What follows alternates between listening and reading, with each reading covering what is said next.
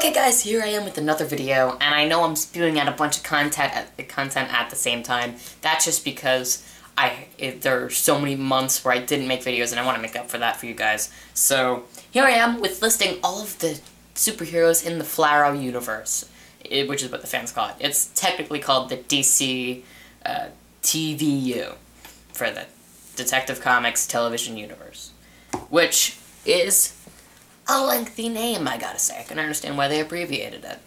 So, let's start it off with the leads of, the, of this. There's Green Arrow from Arrow, and The Flash from The Flash, as pictured over my shoulder. And then let's get into some of the side characters. Uh, let's go to the side characters for Arrow. We have Black Canary as played by Katie Cassidy. We have Arsenal as played by Colton Haynes. I remember the name. Speedy as played by Willa Holland. And then let's go into the Flash uh, side characters. We have... Uh, we could... This is... I'm sorry for that, guys. There could be a Wally West appearing in Season 2 of The Flash, which would be a side character, but it hasn't been confirmed yet. It's just been hinted that he could be in the next season. So that's basically all of the Flash side characters. Now let's get into the Legends of Tomorrow characters. This is interesting. Firestorm, as played by Robbie Amell. The Atom, as played by Brandon, by Brandon Routh. White Canary, as played by... Crap, what's her name? Crap, crap. Caity Lotz, Caity Lotz, Caity Lotz. Hawkgirl is played by Ciara Renee. The Renee? Yeah. And Rip Hunter, as played by the excellent Arthur Darvill, who I am so looking forward to seeing him in this. By the way, for those of you who don't know, he was in Doctor Who. He was one of the 11th Doctor's companions, Roy, and he's a Rory, and he's a huge, huge uh, fangirl uh, symbol, I guess. Uh, and then another show that it, two more shows that aren't really recognized that much right now.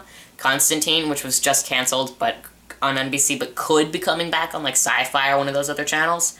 And there's Vixen, which is coming in January or somewhere around there, I think. It's a it's an animated show that's going to be online, and it'll it'll still fit in with this universe. And uh, also coming very soon is Supergirl. I'm so psyched. I, I'm kind of psyched for this. It looks good. It looks sort of like a chick flick, though. I'm kind of worried about that. But that is another character that fits in with this universe. A lot of people didn't know that, but yes, it does take place within the universe.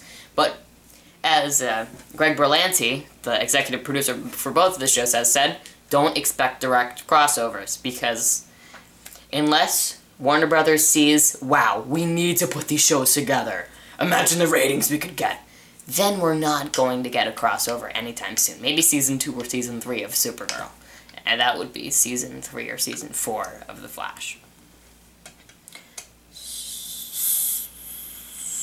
So, and then let's get into the Teen Titans show, which I'm also very looking forward, very much looking forward to, which is, uh, which uh, I'm not sure exactly what characters are on the cast list. I've been having a hard time finding that, but uh, there is Nightwing, which is going to appear, Dick Grayson. We don't have a cast list, though, yet, so that's unfortunate. Starfire, I believe, is going to appear. Raven, I also believe, is going to appear. And the one that I definitely know is going to be in it is, Black, is Batgirl or Oracle. It's, they're kind of uh, not specific when they say that. Um, but that's it for, for the main ones that we have seen before or going to see very soon. Now, the one that's not confirmed, that's Green Lantern. Because if you remember in The Flash, Season 1, Episode 22, Rogue Air, there is an Easter egg where, uh, where they say that one of the Ferris Air test pilots disappeared. Mm. Sounds a lot like a Hal Jordan Easter egg to me, which means... Yep. Cha-ching! Money everywhere. If they bring in Green Lantern, there's going to be so much money that they're going to be making.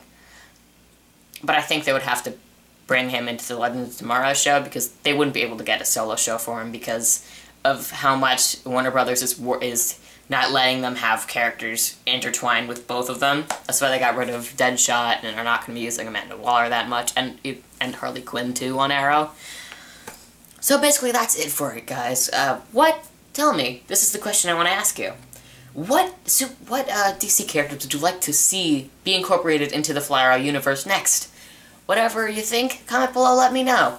And also, if you haven't already, be sure to like, comment, and subscribe. Until next time, guys, adios amigos.